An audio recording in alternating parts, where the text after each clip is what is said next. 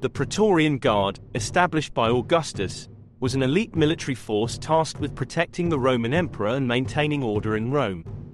However, they often wielded significant political influence and were involved in numerous imperial successions and assassinations, including the infamous auction that led to the rise of Didius Julianus in 193 CE. Learn more about Rome, the Roman Republic and the Roman Empire on my channel, a great comparison and contrast to modern America. Please subscribe, share, and turn on notifications for more videos that matter and that matter to you. Check out my other videos on Rome and the Roman Empire next. Thank you.